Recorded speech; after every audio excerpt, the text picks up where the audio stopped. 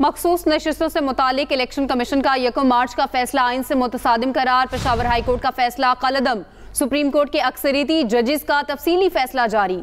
सत्तर सफात पर मुश्तमिल तफसीली फैसला जस्टिस मंसूर अली शाह ने तहरीर किया। सुप्रीम कोर्ट ने मखसूस नशस्तों के केस का तफसीली फैसला जारी कर दिया। सत्तर सफात पर मुश्तमिल तफसीली फैसला जस्टिस मंसूर अली शाह ने तहरीर किया जिसमें पिशावर हाई कोर्ट के फैसले को कलदम करार दिया गया।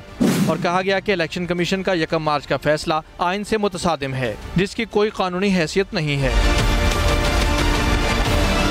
सुप्रीम कोर्ट ने कहा कि पाकिस्तान तहरीक इंसाफ एक सियासी जमात है। पी टी आई की केस में फरीक बनने की दरख्वास्त हमारे सामने मौजूद थी। ये अदालत मुतद मुकदमात में कह चुकी मुकम्मल इंसाफ करते हुए अदालत किसी तकनीकी असूल की पाबंद नहीं। फैसले में कहा गया कि इलेक्शन में बड़ा स्टेक आवाम का होता है। इंतबी तनाज़ा बुनियादी तौर पर दीगर सिविल तनाज़ात से मुख्तलिफ़ होता है। पी टी आई ने दावा किया कि आज़ाद उम्मीदवार भी पी टी आई के उम्मीदवार थे और वोटर्स ने उनके पी टी आई उम्मीदवार होने की वजह से उन्हें वोट दिया। अदालत ने कहा कि इलेक्शन कमीशन बुनियादी फरीक मुखालिफ के तौर पर केस लड़ता रहा। हालाँकि इसका बुनियादी काम साफ़ शफाफ इंतबात कराना है। वो फरवरी 2024 में अपना ये किरदार अदा करने में नाकाम रहा। P T I intra party election फैसला नज़र सानी में जेर है, इसलिए इस पर राय नहीं दे सकते।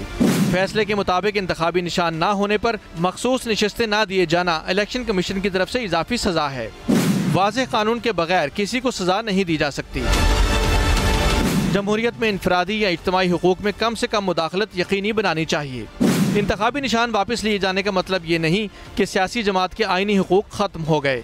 जहाज़ अब्बासी एक्सप्रेस न्यूज़, इस्लामाबाद।